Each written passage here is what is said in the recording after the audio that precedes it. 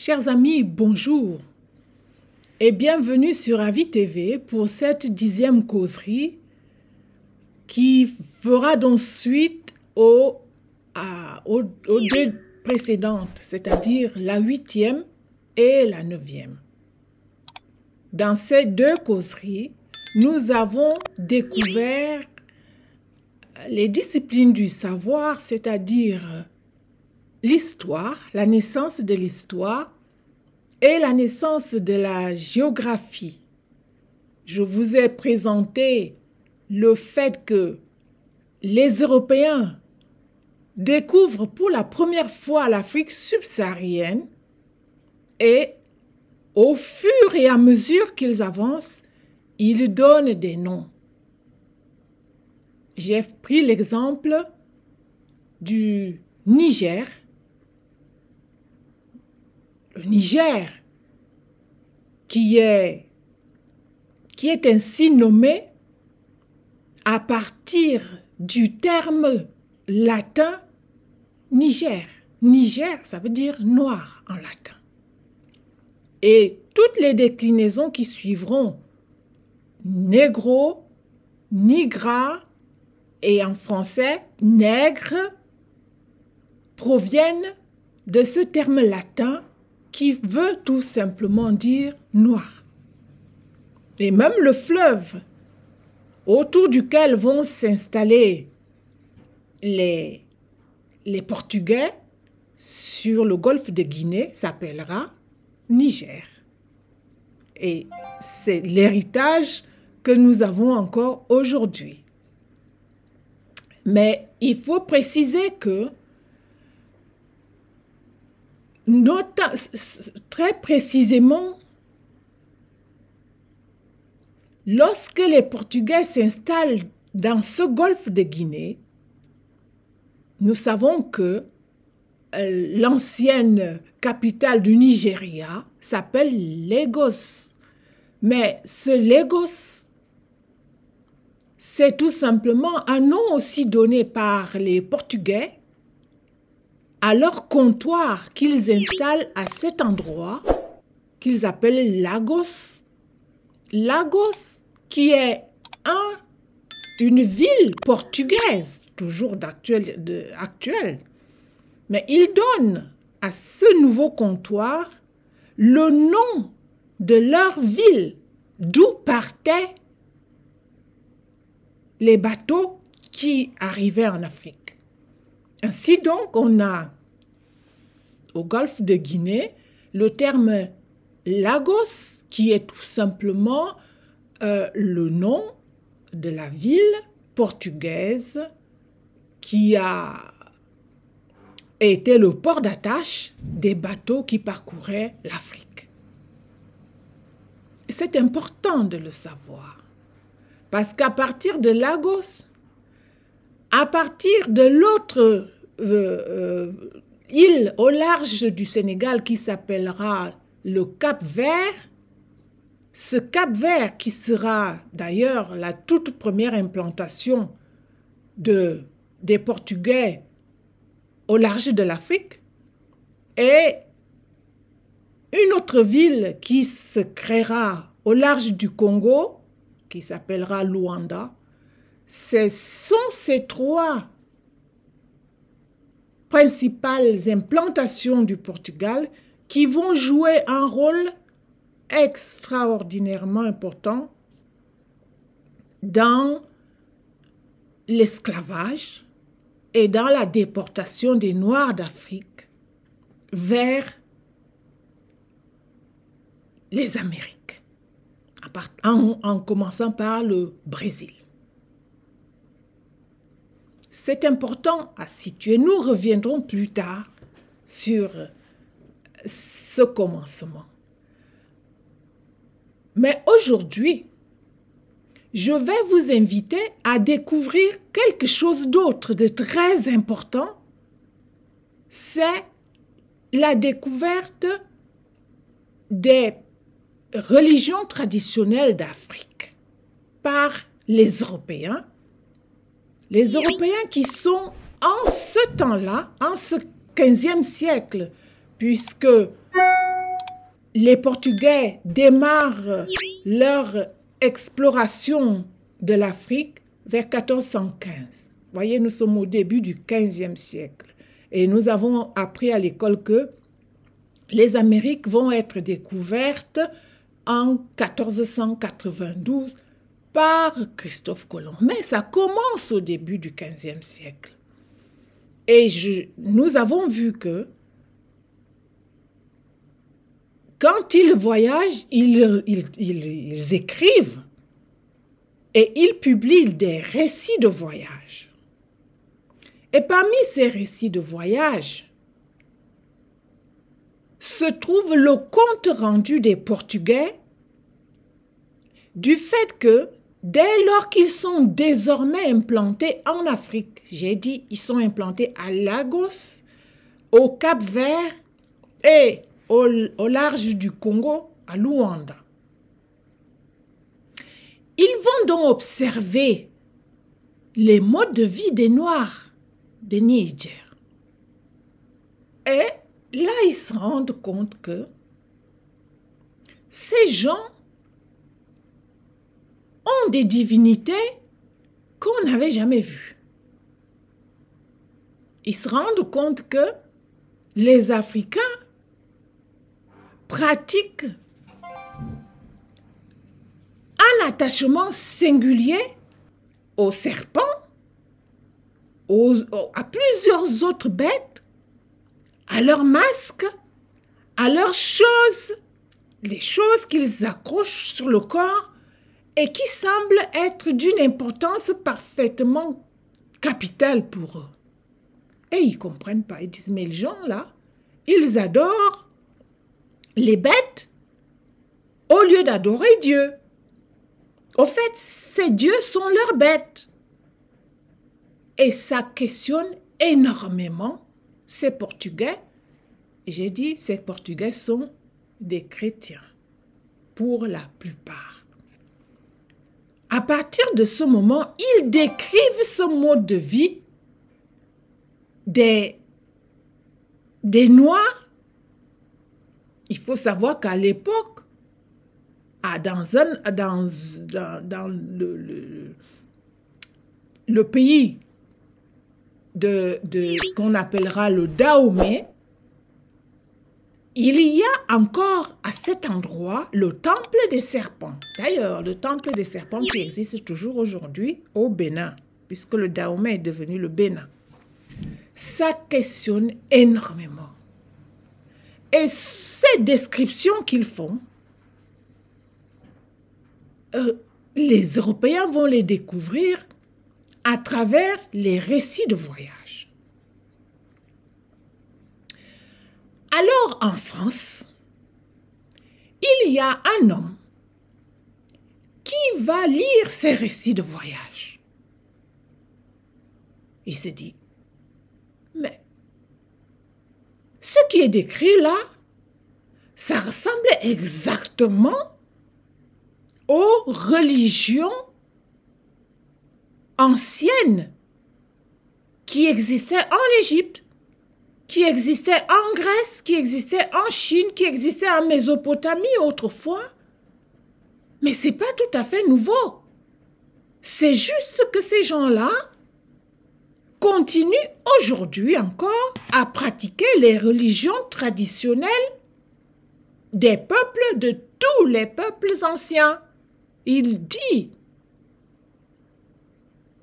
il dit cela et ça étonnera tout le monde. D'ailleurs, en ce temps-là, plus personne n'est prêt à entendre le discours que va dire cet homme? Cet homme est un Français qui s'appelle Charles de Brosse. Retenez ce nom. Charles de Brosse est le premier à rappeler aux Européens que nos, les religions que l'on découvre aujourd'hui en Afrique sont tout simplement les religions des peuples d'autrefois. Ces religions, ce qu'on appelle, parce que les, les, récits de voyage parlent des choses comme les féticios, dans le terme euh, euh, portugais, et c'est Charles de Brosse qui va traduire ce mot en français pour la première fois en termes de fétiche. On dit, ces gens adorent leur fétiche. Le terme fétiche est façonné par Charles de Brosse, issu des récits de voyage qui proviennent d'Afrique. Ce terme-là va donc être utilisé comme pour dire ce sont des religions de, de fétiches.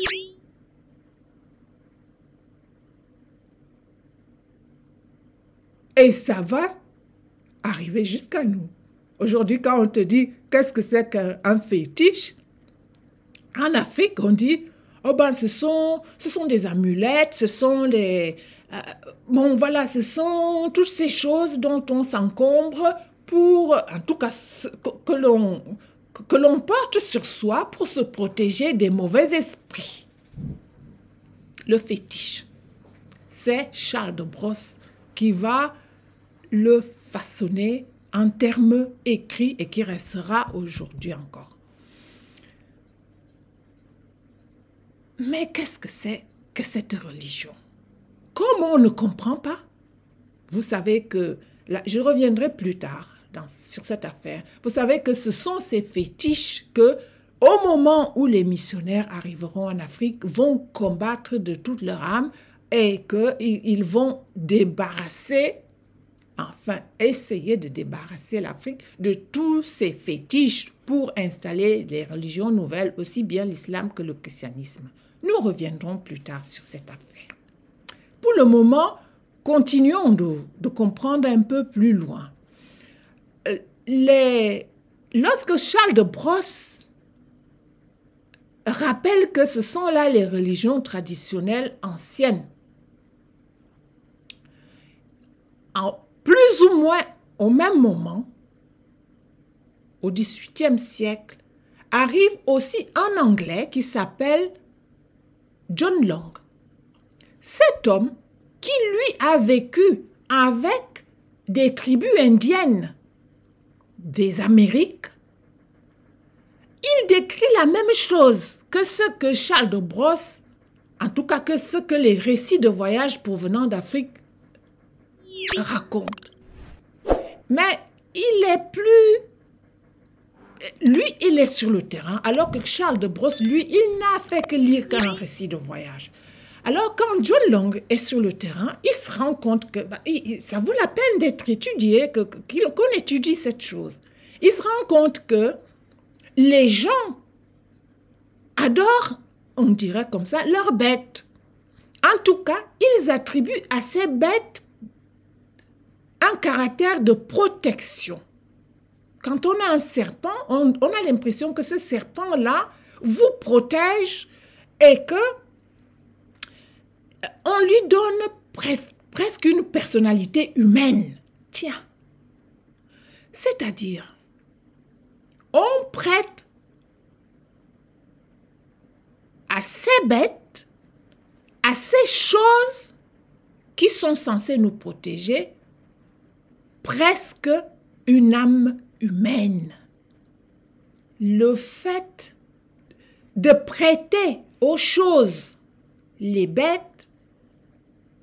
les arbres, les, toutes ces choses qui sont censées nous protéger, le fait de leur prêter les mêmes intentions que l'on prêterait à un humain, c'est ce fait-là qui sera nommé animisme. Anima, en latin, c'est l'âme. Animisme signifie prêter aux choses extérieures une âme humaine. Ainsi dont nous avons l'animisme.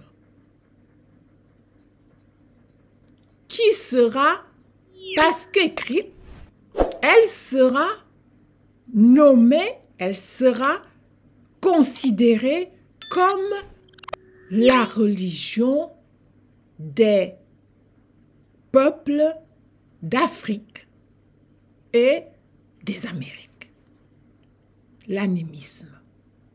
Quand on dit c'est un animiste, ça veut dire c'est quelqu'un qui prête à la nature, aux choses de la nature, que ce soit, quelles que soient ces choses de la nature, ça peut être un fleuve, je ne sais pas quoi, qui prête à la nature les mêmes intentions que l'âme humaine. Ainsi donc, on dira, ah, ben le serpent là, oh là là, on dira, le serpent est allé tuer en ton nom. On dira, la, la, la, les bêtes, telle bête est allée tuer ou euh, faire je ne sais plus quelle commission au nom de l'âme humaine, comme si ces bêtes-là, comme si ces choses-là étaient exactement des humains à part entière. C'est cela l'animisme. Le, fait que Charles de Brosse découvre cela uniquement à travers les...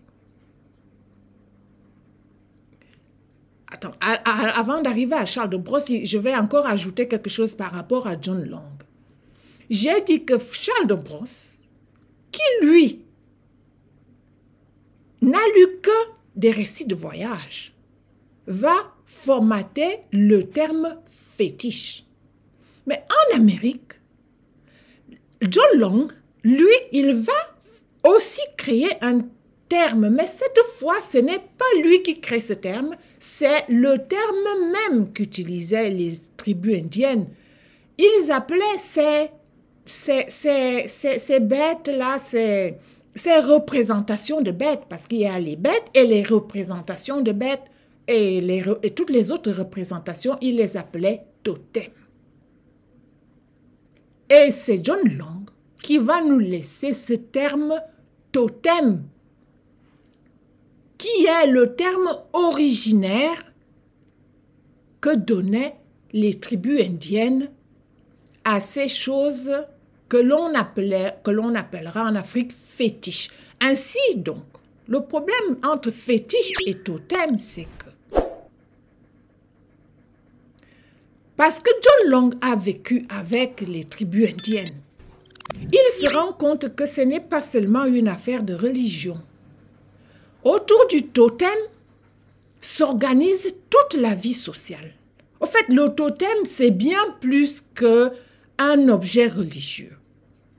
Le totem, c'est vraiment un témoin de la société, c'est un pilier de l'histoire d'une tribu en, en l'absence de l'oralité, euh, pardon, en l'absence de l'écriture, le totem garde la mémoire tribale. On célèbre autour de lui d'où nous venons. On organise autour de lui la vie politique, c'est-à-dire la vie sociale, les, lois et tout cela. Et effectivement, on le vénère euh, on, le vénère comme d'autres vénèrent leur Dieu. C'est pour cela que, parce que lui a vécu avec ces peuples précolombiens, nous-mêmes, dans mon travail, j'ai préféré utiliser ce terme totem parce que ce que dit John Long par rapport aux tribus indiennes est exactement ce qu'on retrouvera en Afrique. Car lorsque les, les, Portugais décrivent seulement ce qu'ils voient, ils n'ont pas été à l'intérieur pour comprendre comment ça marche. Or, ce que décrit John Long par rapport au totem est exactement la même chose qui se vit en Afrique autour des totems, euh, pardon, autour des fétiches. Ainsi donc, l'autotémisme est la religion traditionnelle des peuples sans écriture, des peuples de l'oralité.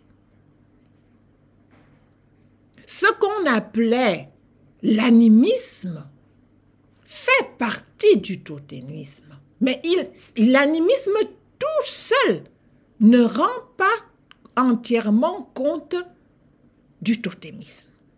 Le totémisme, c'est vraiment l'organisation globale de la société autour de ces totems, autour de, de sa mémoire.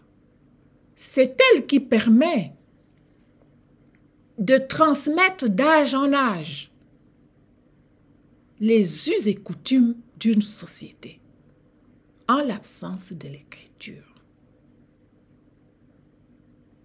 Ainsi donc, dire que l'animisme est la religion traditionnelle des peuples anciens, c'est, disons, considérer un seul, un élément singulier, un élément particulier du totémisme, qui est lui un système global de la gestion des humains d'une société en l'absence de l'écriture. Plus tard, sans trop faire, euh, enfin, référence à, ce John Long, c'est Claude Lévi-Strauss qui ira aussi étudier ce totémisme dans les Amériques et qui nous laissera un travail énorme sur le totémisme, mais pas tout à fait dans le sens de ce que nous sommes en train de dire ici maintenant. C'est pour ça que je pense qu'en en découvrant la naissance des choses, on les comprend mieux. Parce que ce que Claude Lévi-Strauss va nous laisser, ce sera un long travail, mais on reviendra plus tard un jour dessus. Mais c'est ce début qui concerne tous les peuples. Comprendre que, avant la naissance de l'écriture, les peuples se géraient en référence avec ces bêtes qui représentaient pour eux la permanence. Nous passons, mais la référence à ces bêtes était la permanence du groupe. Nous savons que quand j'ai parlé du premier âge, du deuxième âge du monde que nous lèguent les Sahariens, c'est-à-dire les peuples du Sahara, sapiens qui est né au Sahara, enfin en Afrique, vous voyez que nous avons parlé du chien, qui est la première borne historique à partir de laquelle les humains ont transmis ce qu'ils avaient. Nous avons parlé de la vache, qui est la deuxième borne historique, pour dire Autrefois, nous étions que des chasseurs. C'est la borne historique que repère le chien. Ensuite, nous sommes devenus des agriculteurs, des éleveurs, des pasteurs, éleveurs de, bêtes. La deuxième borne historique qui est autour de quoi? Autour de la vache, dont une bête. Et nous verrons avec la découverte de l'Égypte que ce sont ces deux totems qui seront aussi les premières divinités et les premières lettres de l'écriture. Nous reviendrons dessus plus tard. Or, tant qu'on n'a pas compris que c'était de cette façon que les peuples de l'oralité comprenaient leur existence, structuraient leur existence en empruntant ces choses qui étaient autour d'eux pour vivre et transmettre ce qu'ils avaient, pour qu'ils sachent d'où ils viennent, parce que chacun a besoin d'un commencement. Le commencement que nous laissent les peuples de l'oralité, c'est des références à ces moments capitaux qui ont changé leur vie. La première, le premier moment, c'est la domestication du chien. Je tiens le chien. Une bête. La deuxième borne, c'est la domestication de la vache. Et les, les, les arts rupestres du Sahara, quand on les regarde de près, c'est aussi le seul endroit où on voit comment les gens nous ont laissé la technique de domestication des bêtes. C'est quelque chose de fabuleux. Mais nous n'avons pas été éduqués à comprendre notre histoire de cette façon-là. Et c'est pour cela que Jeunesse et Civilisation vient rappeler d'où nous venons. Je ne cesserai jamais de vous le dire. Et c'est pour cela que ce livre-là est unique en son genre et qu'il mérite que tout le monde puisse le lire, j'espère, gratuitement. Parce que nous avons tous besoin. Ce n'est pas cette histoire qu'on nous a transmise. Revenons donc maintenant à ces deux termes que j'aimerais que nous, c'est même trois, que nous retenions aujourd'hui. Le premier, c'est le fétiche, qui a été découvert par les Portugais et qui est noté dans les récits de voyage et qui fait que un homme Charles de Brosse dit, mais ce qui est décrit là décrit tout simplement les religions anciennes de l'Égypte, de la Mésopotamie, de, des Grecs, des, des Indiens, des Chinois, des Japonais. Tout le monde est passé par là. Nous verrons donc, c'est à partir de ce travail de Charles de Brosse que vont naître des questions telles que, alors, si c'est de là qu'on vient, comment les choses ont évolué, comment comprendre ce que nous avons maintenant, et c'est ainsi que commencera le questionnement sur les religions que nous connaissons aujourd'hui. Elles viennent d'où? Et, comment elles, elles ont... Si c'est de là que nous partons, alors comment les choses ont évolué? C'est pour résoudre, euh, pour répondre à cette question que naîtront les autres disciplines du savoir que je vais parler prochainement. C'est-à-dire l'anthropologie, l'ethnologie, la sociologie, qui chacun va essayer de positionner euh, son savoir en disant, mais si c'est de là que nous venons, euh, comment les choses ont évolué jusqu'à nous. Et ça, ça sera l'objet de la onzième conférence, euh, la, onzième causerie. Et je vous dis aujourd'hui, à bientôt et au revoir.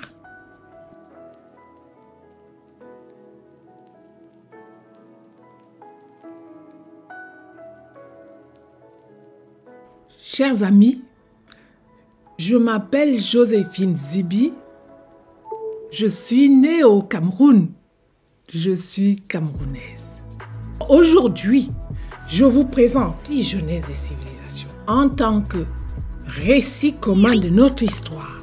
Je viendrai chaque semaine m'entretenir avec vous. Démarrer ici, dans une petite chaîne qui s'appelle Afrique Vivante Production ou Avis TV. Je vous invite tous à venir avec moi faire une causerie éducative. Parce qu'en sortant de l'oralité, on n'a pas appris à lire. On a appris à causer pour s'instruire.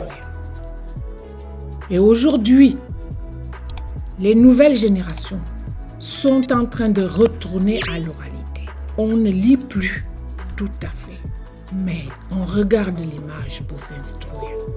Je vous invite à partager cette vidéo. Je vous invite à vous abonner à la chaîne Avis TV afin que chaque semaine, nous puissions nous entretenir du contenu de Jeunesse des civilisations. Je vous remercie de m'avoir écouté. À bientôt.